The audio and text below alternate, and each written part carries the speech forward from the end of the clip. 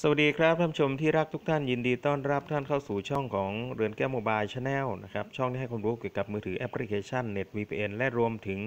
สิ่งต่างๆ ที่นำเสนอเพื่อให้ท่านชมนั้นได้เกิดประโยชน์นะครับ วันนี้นะครับในส่วนของการรีวิวคลิปนี้นั้นนะครับก็จะทำแอปแอปหนึ่งนะครับนำเสนอนะครับไม่ใช่ทำนะครับหมายถึงว่าเราโหลดได้จาก Play Store นะครับเครื่องอ่านบาร์โค้ดนะครับลิงก์โหลดแอปนี้ก็อยู่ที่ใต้คลิปและจุดคอมเมนต์ด้วยนะครับท่านชม ในส่วนของการอ่านบาร์โค้ดนั้นนะครับ ก็สามารถที่จะโหลดแอปนี้เข้าสู่มือถือนะครับ แล้วก็สามารถสแกนเพื่อที่จะทราบข้อมูลในส่วนของบาร์โค้ดนั่นเองนะครับเราเมื่อเราโหลดได้จาก Play Store หรือว่าลิงก์โหลดแอปนี้ที่ใต้คลิปแล้วนะครับ เราก็ทำการคลิกเข้าไปเลยนะครับ เมื่อคลิกเข้าไปนะครับ เครื่องหน้าจอของเราก็จะสแกนนะครับดาวน์โหลด แล้วก็จะสแกนในส่วนที่ผมจะให้ท่านผู้ชมได้มองเห็นในส่วนของบาร์โค้ดนิดหนึ่งนะครับเราก็เอากล้องของเรานะครับ เข้าไปที่ใกล้ๆกับในส่วนของบาร์โค้ดนะครับเห็นไหมฮะก็เอามือถือเข้าไปเสร็จนะครับ แล้วเราก็จะทราบรหัสในส่วนของรหัสสินค้านะครับ ก็อยู่ตรงนี้นะครับ แต่ว่าเรายังไม่รู้ข้อมูลนะครับ เราจะต้องคลิกเข้ามาที่ ค้นหาผลิตภัณฑ์นะครับท่านผู้ชมตรงนี้นะครับ เราก็จะทราบว่าข้อมูลในส่วนบาร์โค้ดที่เกิดขึ้นนั้นนะครับ เราจะสามารถมองเห็นนะครับ ผมคลิกเข้าไปตรงค้นหาผลิตภัณฑ์เลยนะครับ ก็อาจจะมีโฆษณาบ้างนะครับ เราก็คลิกกลับมานิดนึงนะครับ เห็นไหมเพราะฉะนั้นโค้ดที่เกิดขึ้นนะครับ ก็จะรันเข้าไปหาในเบราว์เซอร์ของ Google นะครับ เพราะฉะนั้นในส่วนที่เราจะมองเห็นก็คือจะเป็นในส่วนของข้าวเกลียบในส่วนนี้นะครับท่านผู้ชม ผมก็จะออกจากหน้าจอตรงนี้นิดนึงนะครับ เพื่อที่จะเดี๋ยวจะเลื่อนขึ้นไปให้ท่านผู้ชมเห็นไหมฮะข้อมูลก็อยู่อยู่ตรงจุดของ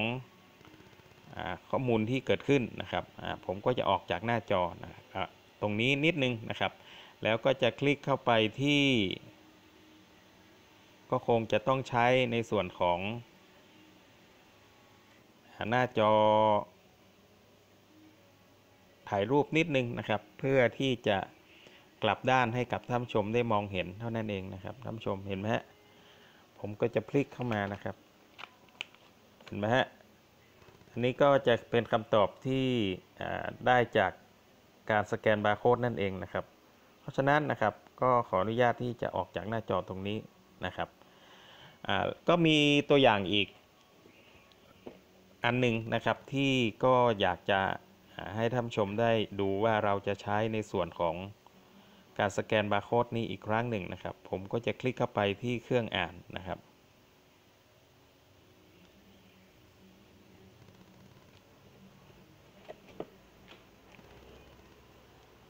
ก็รอโหลดนิดนึงนะครับท่านผู้ชม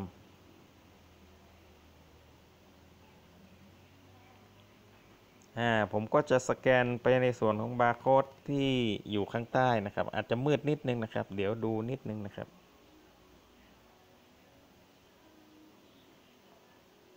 มือควรจะนิ่ง ๆ ไว้เนะครับ เมื่อสแกนได้นะครับท่านผู้ชม ก็จะมีรหัสตรงนี้นะครับ เห็นไหมเราสามารถที่จะ Copy ข้อมูลตรงนี้ก็ได้นะครับ หรือจะแชร์ไปก็ได้นะครับ แต่จุดสำคัญที่สุดก็คือเราจะต้องมาดูข้อมูลตรงนี้นะครับ ข้อมูลผลิตภัณฑ์นะครับก็คลิกเข้าไปนะครับ ที่สำคัญต้องเปิดเน็ตด้วยนะครับ หรือว่าเปิดในส่วนของการใช้เน็ตด้วยนะครับเดี๋ยวผมดูเน็ตผมนิดนึงนะถ้าเน็ตไม่มีก็จะ ไม่เกิดขึ้นนะครับ ถ้าไม่มีเน็ตนะครับ เพราะฉะนั้นนะครับ เราจะต้องมีเน็ตด้วยนะครับ ขออนุญาตที่จะคลิกทำการเชื่อมต่อเน็ตสักครู่นะครับท่านชมต้องขออภัยด้วยนะครับ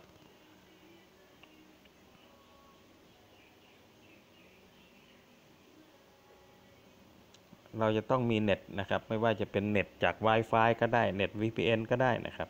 แล้วเราก็จะกลับเข้าไปที่เครื่องอ่านบาร์โค้ดใหม่อีกครั้งหนึ่งเห็นไหมฮะ ถ้าไม่มีเน็ตก็จะใช้งานไม่ได้นะครับ เราก็คลิกเข้าไปค้นหาผลิตภัณฑ์ใหม่นะครับ เมื่อมีโฆษณามาเราก็คลิกกลับนะครับ เห็นไหมฮะ ข้อมูลก็เกิดขึ้นนะครับ ก็คือเป็นป๊อกกี้ช็อกโกแลตนะครับตรงนี้นะครับ เดี๋ยวผมก็จะออกจากหน้าจอตรงนี้นะครับ เพื่อที่จะให้ท่านชมได้ มองเห็นว่าที่ผมสแกนบาร์โค้ดไปนั้นนะครับออยู่ในผลิตภัณฑ์อะไรนะครับ ตรงตามที่เครื่องนี้ได้สแกนมาหรือเปล่านะครับเห็นไหมฮะผมก็จะกลับด้านนะครับ ให้ท่านชมได้มองเห็นเห็นไหมฮะก็จะตรงตามที่ได้สแกนมานะครับ เพราะฉะนั้นนะครับผมก็คงจะต้องเข้ามา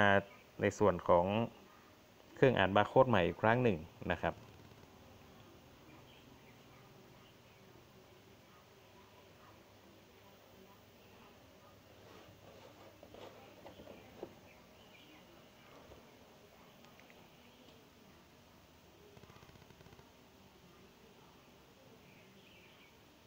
เราต้องให้นิ่งๆนะครับ มือเราต้องนิ่งนะครับ และก็ที่สำคัญนะครับ ไฟนั้นจะต้องมีนะครับ ถ้าไม่มีถ้ามันมืดเกินก็อาจจะการสแกนนั้นก็อาจจะผิดพลาดได้นะครับเห็นไหมฮะเราก็ต้องให้ชัดเจนนิดนึงนะครับหลังจากทำการคลิกค้นหานะครับถ้าเน็ตไม่มีก็ไม่ได้นะครับ เพราะฉะนั้นในส่วนนี้นะครับ ก็คงจะให้ท่านผู้ชมนั้นนะครับได้ต่อยอดในการที่เราจะ ใช้มือถือของเรานะครับ ถ้าหากว่าเครื่องสแกนไม่มีนะครับ ในส่วนของเจ้าหน้าที่หรือพนักงานนะครับ ที่ขายสินค้านะครับ ก็จะสามารถใช้แอปนี้ได้นะครับท่านผู้ชม เพราะฉะนั้นนะครับ เดี๋ยวผมขออนุญาตที่จะทำการเชื่อมต่อเน็ตอีกสักครู่หนึ่งนะครับ ก็อาจจะหลุดไปนะครับเห็นไหมฮะเรา ต่อเน็ตเสร็จแล้วเข้าเครื่องอ่านบาร์โค้ดค้นหาผลิตภัณฑ์นะครับ เมื่อมีโฆษณาคั่นแล้วก็คลิกกลับนะครับ เห็นไหมฮะ วันนี้เรือนแก้ว Mobile Channel นะครับขอขอบคุณทุกท่านนะครับที่เข้ามาติดตามรับชมในช่องนี้และให้กำลังใจรวมถึงจุดผู้แบ่งปันด้วยนะครับ วันนี้ขอกล่าวคำว่าขอบคุณครับ สวัสดีครับ